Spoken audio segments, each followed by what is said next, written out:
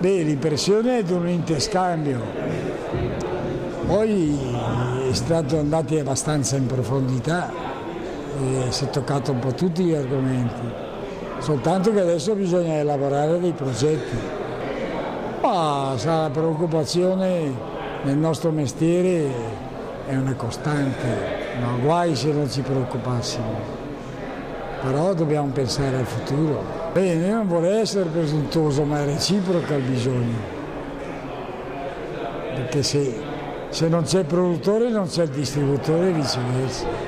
Siamo di fronte a, a una crisi finanziaria, ma soprattutto abbiamo una forte, fortissima crisi di competenza del settore.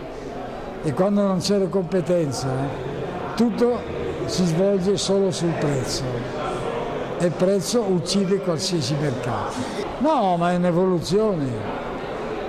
Dire che è un momento difficile è l'errore fondamentale perché è sempre difficile il lavoro. È un momento impegnativo, bisogna impegnarsi con competenza e saper risolvere i problemi. L'età che ho non ho problemi con nessuno, perché poi vince Guardi, un'azienda nasce per una buona idea di prodotto e muore se dimentichi il prodotto. E il prodotto vince sempre. Ci sono anche delle regole da rispettare, perché se prendi una società quotata in borsa deve poter dare i dati solo ufficialmente e basta. No. È...